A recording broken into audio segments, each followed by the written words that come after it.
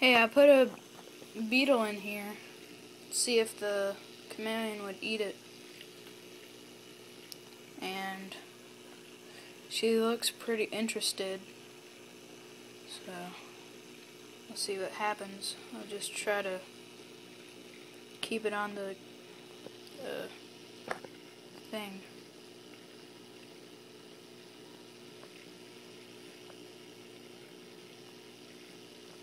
Uh, come on. Oh, there we go.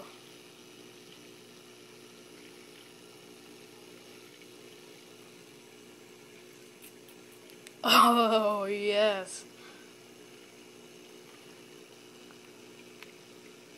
crunch, crunch. Oh my gosh. That is amazing.